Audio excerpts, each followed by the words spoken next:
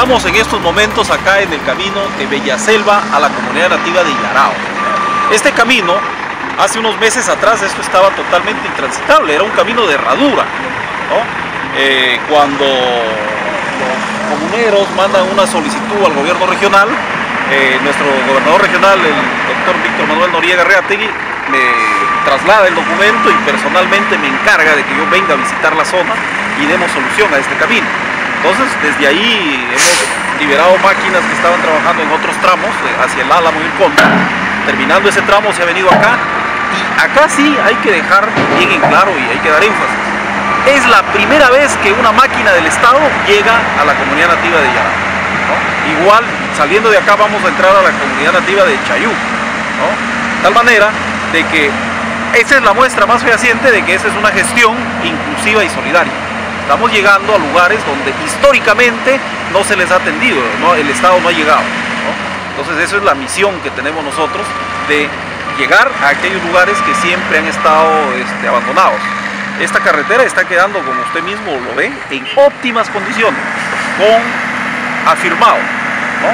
Le hemos donado también a esta comunidad mil galones de combustible para poder hacer sus trabajos. Ellos también han hecho el esfuerzo y han comprado un poco de combustible. Por lo tanto, acá la unión hace la fuerza. Estamos trabajando, gobierno regional a través del proyecto especial Altomayo y las comunidades solucionando sus problemas. Son 5 kilómetros, desde Bellaselva hacia Yarao, son 5 kilómetros.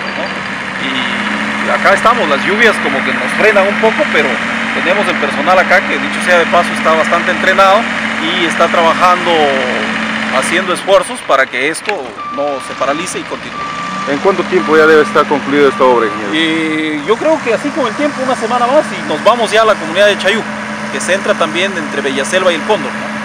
Otra comunidad que por primera vez va a llegar el Estado con maquinaria a esta comunidad. este ha sido un camino de herradura, un camino de herradura que bueno, los comuneros de alguna forma, lo años atrás, en los años 80, habían ingresado con sus propios peculios un tractor para que lo abriera, pero de ahí el Estado no ha hecho nada más, es recién ahora, con esta gestión, que estamos llegando. Eso es eh, Yarao, de aquí vamos a Chayú, vamos a, Creación 2000, las orquídeas, donde todavía tienen combustible que nosotros hemos donado. Entonces tenemos que terminar todo el combustible, porque ese frente lo estaban atendiendo otras máquinas pero dicho sea de paso, como lo han retirado, ya nosotros tenemos que entrar a tallar y dejarles solucionados los problemas. Exactamente, específicamente del gobernador regional, el doctor Víctor Manuel Noriega, quien siempre está preocupado por los pueblos para darles transitabilidad a sus caminos. Eh, nosotros estamos agradecidos por parte del gobierno regional representado por el gobernador regional doctor Noriega, como a la vez también eh, como su funcionario, trabajador del proyecto especial Alto Mayo, doctor Wilson Becerra, quien es gerente actual del proyecto especial Alto Mayo. Nosotros estamos eh, agradecidos de, esta, de estas instituciones, de estas autoridades, porque eh, por primera vez el gobierno regional ha tenido esta voluntad eh, eh, el amor hacia este pueblo indígena para hacer una realidad de su, carretera, porque esto beneficia muchísimo a este pueblo para que se desarrolle en todos sus ámbitos, que realmente es eh, un instrumento para mejorar la calidad de este pueblo indígena.